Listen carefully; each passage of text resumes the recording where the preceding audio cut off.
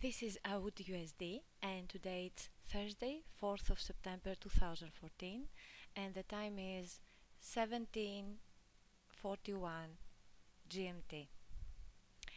We are looking at the 15 minutes time frame of the pair and this is a trade setup study uh, and I'm using, I'm Sofia Stavropoulou and I'm using Ichimoku Kinko Hyo Bollinger Bands, fractals, and stochastics.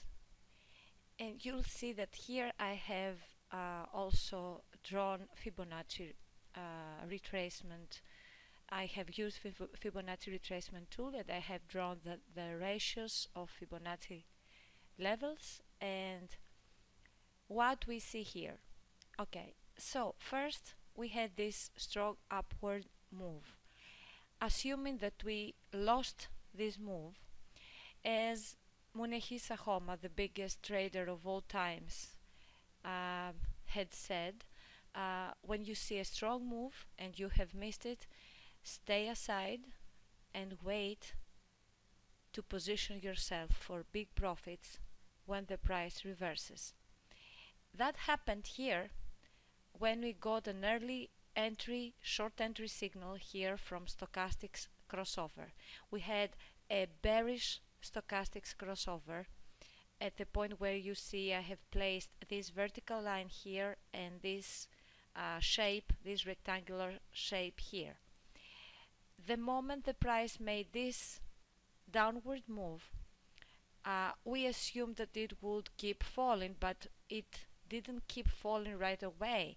It made this upward move, this spike up here, and then started really falling.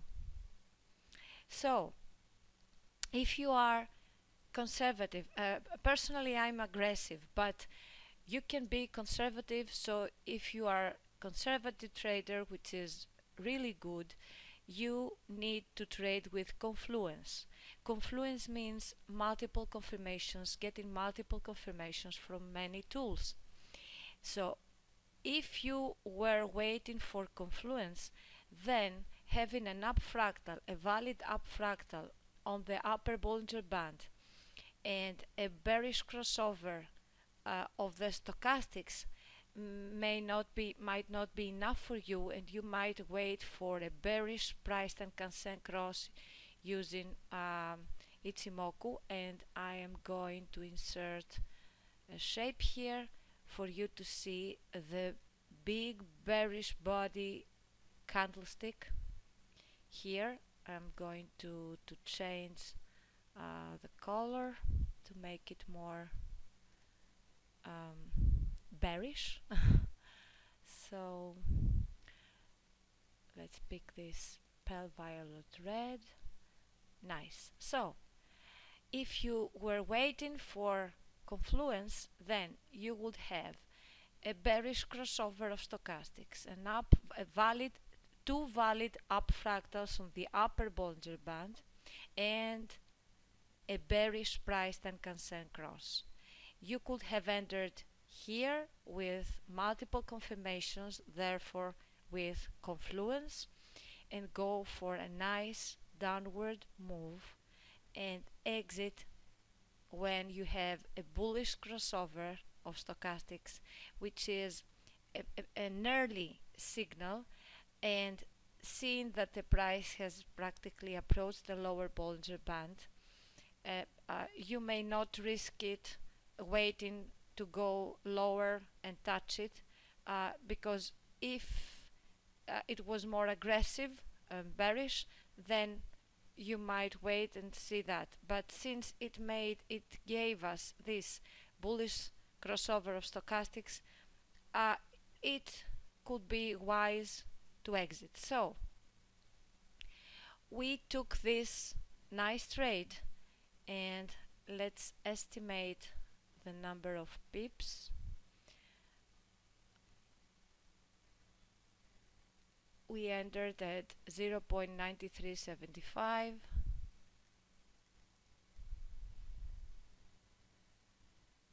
it exited 0 93 53 so uh, it's a nice 20 uh, 20 something 20 net pips profit.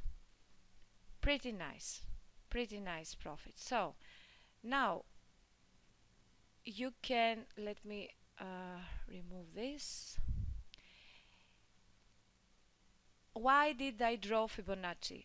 Uh, you can place Fibonacci with 0 here and 100 up here or the opposite 0 up here 100 here. It doesn't matter the ratios remain the same. So usually we have downward corrective moves or upward corrective moves around 50 or 61.8 Fibonacci level and since 61.8 is a very serious uh, uh, in this case a very serious uh, support level this is one of the confirmations that add to the confluence we are looking for in order to take a long trade and buy here. So in order to buy here we have one, two valid fractals on the lower Bollinger Band.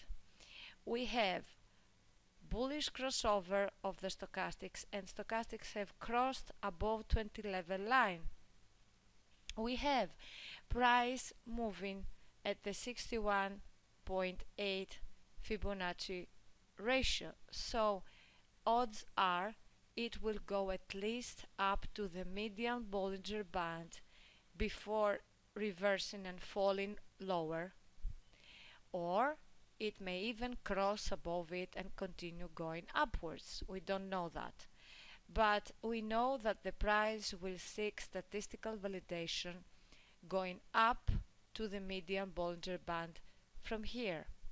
So if we want to enter uh, and take a, a, long trade now and buy, we can enter now here and uh, place our take profit target just a couple of pips below the median Bollinger Band. Our stop loss, we can place it a few pips below the lower Bollinger Band or a few pips below the horizontal Kumo here.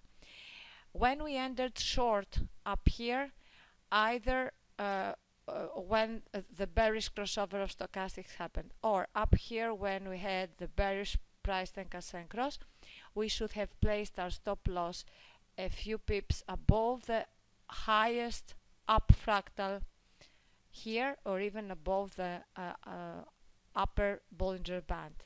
And our take profit target would be a, a short-term take profit target at the medium Bollinger Band and a medium-term take profit target close to the uh, lower uh, Bollinger Band. But because we are monitoring this trade and it's a, a small time frame, uh, that means that we we are here watching it, monitoring it, then using the stochastics crossover is a good guide and you can't possibly know where this exactly is going to happen.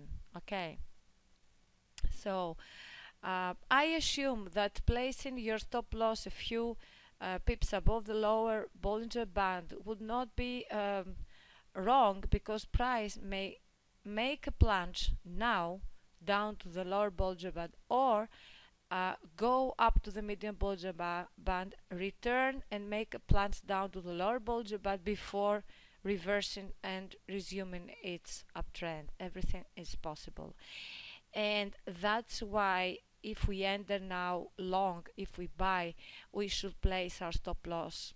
Uh, even better to place it before below the um, the horizontal Kumo. Of course, if we enter long and if we see that the move is going aggressively down, it is good to be flexible with our stop loss. We see that the main trend is upward, so it may take some deep fluctuations before the pair resumes and goes and pushes much, high, much higher.